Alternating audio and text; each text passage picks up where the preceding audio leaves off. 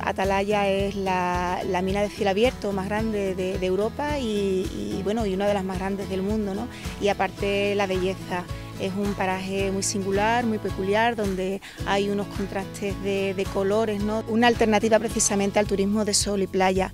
Esto viene a significar que rompe la estacionalidad, eh, ayuda a distribuir el turista de una manera mucho más uniforme eh, a lo largo de todo el territorio y a lo largo de, todo el año. Y en definitiva, genera empleo, genera riqueza y lo más importante en estas zonas tan deprimidas como es la zona del Andévalo y de la cuenca minera, eh, la fijación de la población más joven al territorio. laboratorio.